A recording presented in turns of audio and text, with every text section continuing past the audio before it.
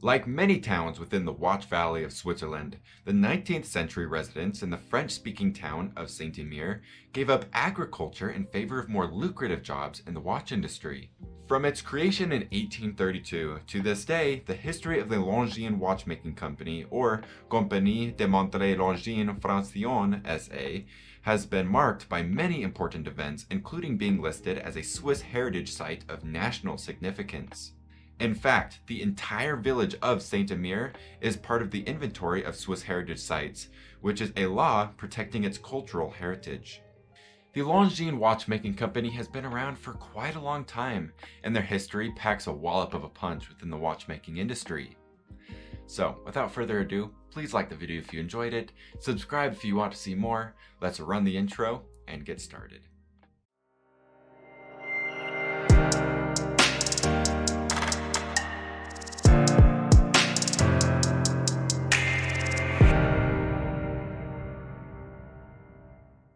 The Longines story began in 1832 when a local banker and Swiss watchmaker Auguste Agassiz partnered with Henry Raiguel and Florian Morel, two lawyers.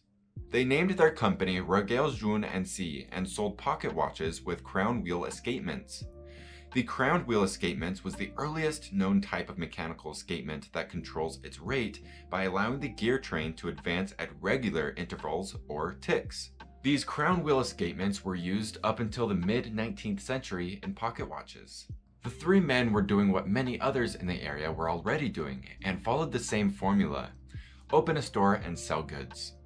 However, August had a vision and ambition for something more.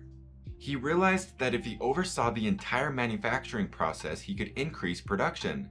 The idea worked, and very soon his watches were being worn on both sides of the Atlantic. With his connection in the American market, including family, he was able to sell his artisan watches to people enthralled with the old country.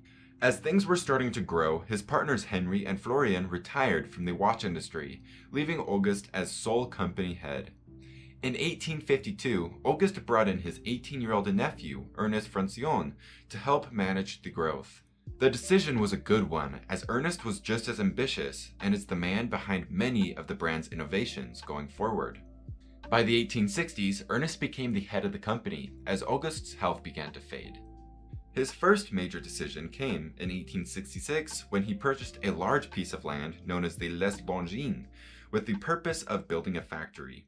With the building of this new factory, the new name for the company was born. In 1867, Ernest hired Jacques David, a talented engineer, as operations manager, a role in which he oversaw all factory equipment and mechanical systems. That same year, Ernest produced his first movement. The 20A movement had an anchor escapement as well as a pendant winding and setting mechanism, a significant upgrade over key wound pocket watches.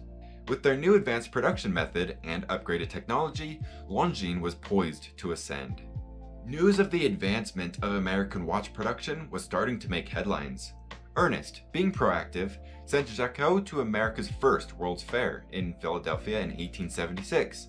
His mission was to gather new ideas and strategies from the Americans.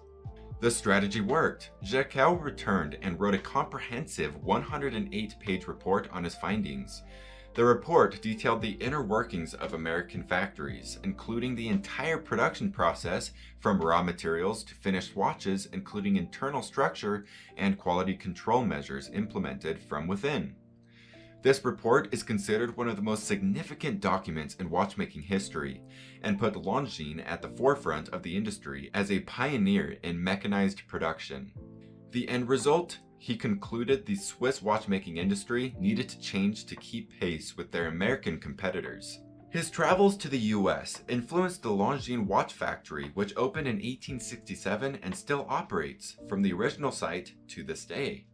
The next accomplishment was the release of the 20H movement in 1878. This mono-pusher chronograph movement featured a single pusher to start, stop, and reset the chronograph function. The brand gained exposure, building its reputation in horse racing and jumping as the movement was suitable for precise timing in professional events. Even today, the brand remains synonymous with high-profile events such as the French Open in tennis and the Kentucky Derby in thoroughbred racing. As the company grew, the brand was presented with a genuine problem, counterfeiters. Cheaply made watches looking to pass off as genuine Longines products. Again being proactive, Ernest made the decision to trademark the Longines name in 1880, and later the distinctive winged hourglass logo in 1889. This logo is the oldest, unchanged, yet still active registered trademark in the international registers kept by the World Intellectual Property Organization, which is impressive to say the least. To combat the counterfeiters, a decision was made that all the factory's watches would bear the Longines name on the dial. A winged hourglass is also engraved on the movements. In fact, Longines meticulously records each of its watches' serial numbers. To this day, Longines will provide a certificate of authenticity to their customers upon request. Longines released the caliber 19.73 pocket watch in 1890, an effective mechanism for sports field timers. By 1922, Longines was producing split-second chronographs which could measure time to 1 100th of a second.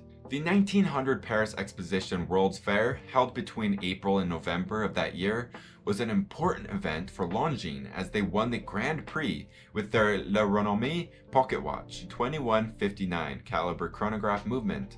Another feather in their cap for the brand. In 1927, Longines created a series of navigational devices with the help of Philippe van Horn Weems, a US naval officer. This technology helped change the aviation industry by contributing with the help of Charles A. Lindbergh in the creation of the Lindbergh Hour Angle Watch in 1931, which helped locate a pilot's precise geographical location. By 1945, Longines rolled large-scale production of their patented 22A automatic movement with an upgraded rotor winding mechanism the Chronoson 9, launched in 1954, was another important achievement for the brand. It was a 16mm camera attached to a quartz clock, perfect for providing sports officials filmed tape showing still images recording at 1 100th of a second. In 1971, Longines was purchased by the ASUAG. The former biggest Swiss watch industry group was looking for a luxury brand to add. The ASUAG and SSIH eventually combined, and in 1985, they formed the Société Suisse de Microélectronique et de Horlogerie, which went on to become SMH.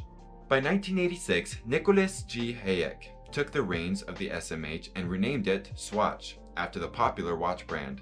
Everything from there, as folks say, was history. Longines is one of Swatch's major luxury brands, and with their help, the Swatch Watch Company now brings in an annual revenue of over 7 billion US dollars. In 1992, the Longines Museum opened at the company's headquarters in Saint-Imier. The museum traces the history of Longines from 1832 to present, with exhibits of pocket watches and wristwatches from various periods, chronographs, and other navigation instruments, as well as some collective advertising materials. As of present, guided tours are available and are free to the public. The most expensive Longines watch ever auctioned sold in October 2008. Albert Einstein, the famous physicist, owned two Longines watches.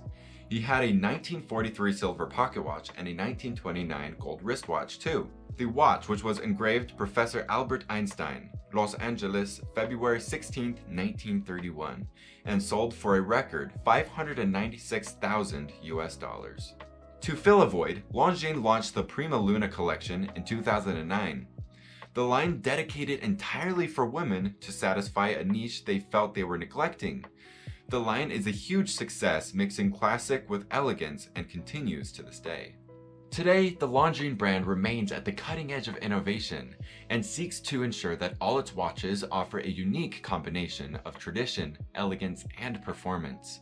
A luxury masterpiece in every timepiece. I hope you enjoyed the video today. If you did, make sure to give it a like, and if you'd like to see more content from us, you can subscribe right here. And as always, if you need any help repairing your watch, the link to our website is right here. Thanks again for watching, and I'll see you next time.